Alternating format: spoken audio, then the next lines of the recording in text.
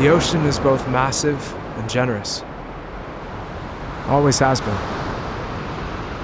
And while it isn't asking, at Rubio's we offer our thanks by serving what it serves us and serving it well grilled, pan seared, or blackened.